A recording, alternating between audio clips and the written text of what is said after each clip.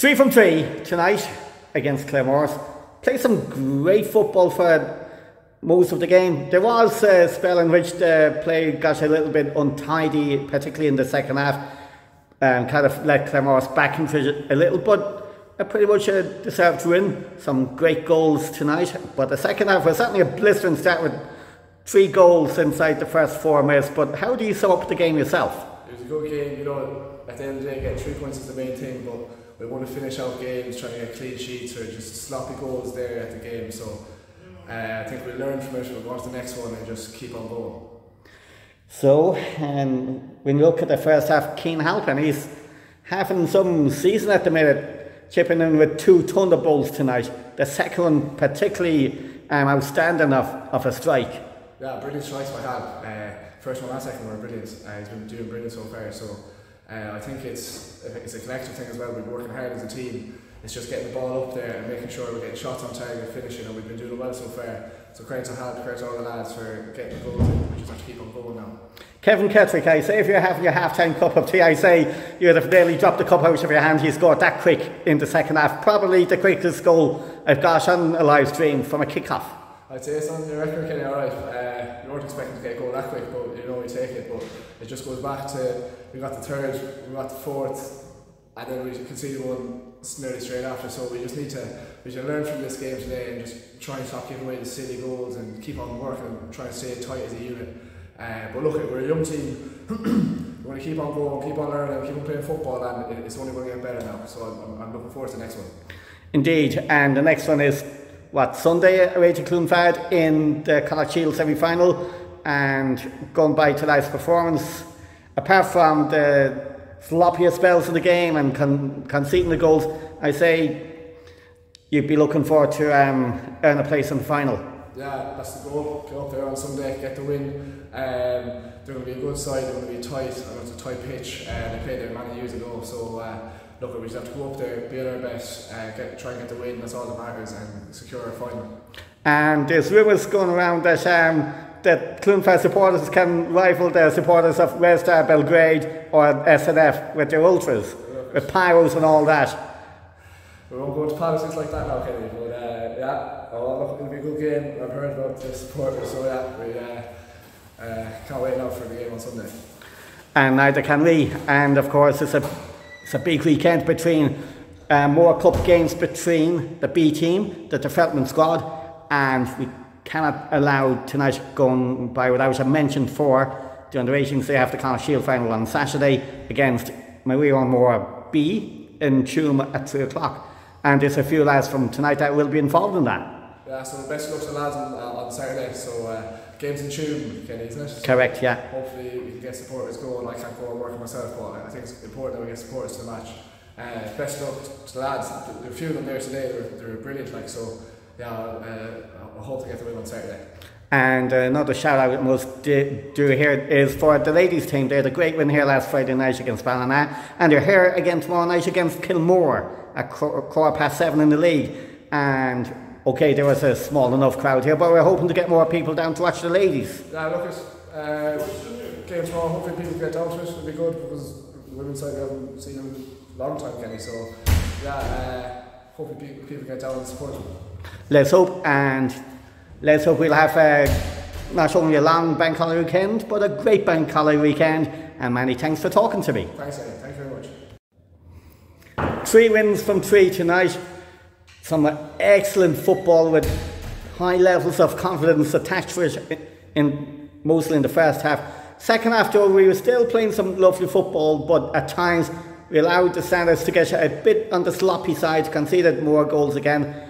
But for the neutral, I'm sure they were totally excited by what they saw. How would you sum up tonight's game? Uh, to be honest, we're, we're, we're thrilled. Um, it's been a tough enough start, an awful lot of games in a short space of time. The aim was the three wins at the beginning of the league. We've got those. We're, you know, nine points after three games. Uh, really, really pleasing. Uh, I thought we played some outstanding football. We mixed that in the second half with some very, very sloppy play, but it was tired play. Um, it's very, very hard to be critical of that group, amount of football they're playing at the moment. Um, extremely young, playing 18s, playing with us, playing with Bees and for them to start off the season as well as they've done, all we can give them is maximum credit.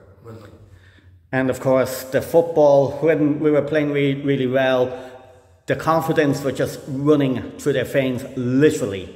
It was absolutely so joyful to watch that, to be honest, if if you aren't here, you, you need to be here to witness this, witness the football in the flesh. I agree. I heard someone comment, uh, we didn't realise people can play football as well as that at this level. Um, some outstanding, outstanding football. Um, some of the movements, some of the, you know, these patterns of play, some of the awareness of space, and um, the touches. It's a pleasure to watch, and I think anyone who came down to watch the game really, really enjoyed it. And to be fair, Claremorris made a great game in the second half as well. They played slightly different to us. They were more direct. They played a lot of a lot of pace and a lot of physicality, and that was a great test for our lads. And I think you know, on the whole, they they, they managed to come through it. And again, fantastic learning for us. And uh, again, we roll on to the next game. And of course, we do roll on to the next game, which is coming around on Sunday, a trip to Cloonfad in the semi final of the Connacht Shield. And on the basis of tonight's performance, when you look at the brighter side of the game, you'd have to think to yourself, this should be something to look forward to. Bit of confidence in the squad. Cloonfad will be a tricky side, no doubt, but with, the, with that sort of confidence, um, there shouldn't be much of a fear factor going into it. Um, you know, it's something we're certainly looking forward to. It's a semi final of a cup. You have to be excited as a footballer. I've been to Cloonfad many, many times. Uh, every time I've been there, it's been a battle. Um, they have a proud tradition in that club. They've reached the FAI Junior Cup semi final on occasion. And um, they're very competitive in the Roscommon League. And as I say, any time I've been there, it's been an absolute battle, and we've had to work incredibly hard to get out there. And I expect this Sunday will be no different. Now, we are really an outstanding quality side and we should be full of confidence going there and we will be. And um, you know, I think it's a big test for Cloonfad. It's also a big test for us, but one more confident we can come through. And of course, it's not just a big weekend for the first team on Sunday. You've got the, the ladies here tomorrow night against Kilmore in the league at quarter past seven. And they had a great win last weekend. They're looking to build on that. They actually beat the top of the table team last Friday night.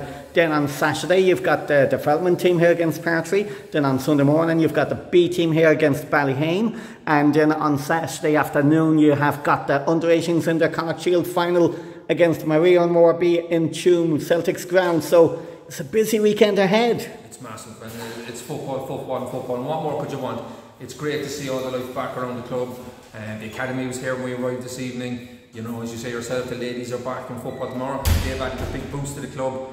Um, it's a, a team I'm looking forward to watching myself in the, in the next couple of weeks. Um, I'm going to Tuam on Saturday. We're looking forward to that game. That under 18 side has been outstanding for the club. Um, it's fed a lot of players. Um, Miles and Dave have back into the senior setup over the last two seasons. So as much support as we can get down to Tuam to support those lads, I think they deserve it. And again, back here on Sunday for the B uh, side playing Ballyheane. Brilliant, lots of football. And add to that, we've got the seaside playing Partry. What more could you want? Fabulous. So if if you if you if you really am hungry for football, you you might have the Champions League, you've the Europa League, you might have the Premier League, you'd have even got League of Ireland, but there's nothing better whatever about watching the top clubs in your league, in the top leagues, supporting your local club and the bread and butter football, there's as much passion and pride in supporting a local team as there is in following one of the global elites. Yeah, towns like Westport love their local club and we're so blessed there. I mean, the amount of games you can choose from over the weekend is fantastic. You can pop down and see bits of each game, you can pop down and watch, you know, whichever ones you want to. Uh, what a fabulous setting to do it in, and uh, as you said earlier in the interview, the quality of player on show is really, really good. And uh, like that, every week in my household, we're picking the games we can get to, the games we can see, and uh, it's a big part of our week now. And uh, these boys are working so hard, and the girls, that um, how can you not support them? So it's certainly an exciting weekend. But back to tonight's game, the goal scorers: um, Keane Halpin, flying form and two absolute rockets this evening. The second one being a pure thunderbolt. Um, Kevin Kettrick. I say anyone having a half-time cup of tea with with the timing of his goal, I say the cup fell off the fell out of the hands and probably smashed on the ground. In shock and disbelief that she scored that quick. But uh, finished from Killian White after a little, little lovely little run two along the way. Um, that was special. It was very special, and no more than he deserves. Uh, if anyone's seen our, our three games, our first three games of the season, including um, some of the cup runs that we've had, Killian's been absolutely unbelievable. Uh, the physical presence he brings to that midfield, the organisation, the skill level, the quality he has, and you know, I think is that his first goal. Very close to it anyway. It would, I, I don't think he scored too many, but yeah. if it's first, second, whatever, I think he can save it anyways, and he'll be looking back on it. Um, there's plenty to come from Killian. Yeah. I think he's only going to get better and better, and um, he should be very proud of his efforts to this point. He's had a brilliant Oscar trainer. He's brought that form back into us. He's having a huge influence in that group, and um, the club can be very proud of him. And another player worth mentioning, he got team on team of the week alongside Kevin Kettrick and Keane Halpin is Noah Massey. His performances of late has been fairly influential in the club. I think everyone forgets that. Is it Noah? Is he 17 or 18? Um, he's so young, but I mean, uh, he's a rock at the centre of our defence. He's one of the first names I put down on that list now. Um, his knowledge, his bravery, um, he's an outstanding player, and it's frightening to think how good he can actually get even though it would, it would be honestly um, too much expectation placed, placed on his shoulders if supporters called him the heir apparent to Joe Lawless. But look, what, what an honour to be compared with such a player. But at the end of the day, it's the first three games done. We've got to challenge these boys. We've had a good start. Um, they've got lots of ability. They can do an awful lot of things again, but they, they've got to realise they've got to go back and work harder and harder. And um, as well as we played tonight, and as well as we played in three games, we've had spells where we switched off and we, we take little breathers. And we've got punished every time we've done that. And um, we've got to resist the urge to do that. We've got to continue to work hard. We've got to continue to eliminate the mistakes from our game. Probably be a little bit more ruthless going forward. So there's lots and lots for this group to work on, and they're aware of that. Um, but for now we can be happy with where we are and uh, look forward to the games ahead. Indeed, and we look forward to a long, exciting season and hopefully a great month ahead. And thanks very much once again. Thank you.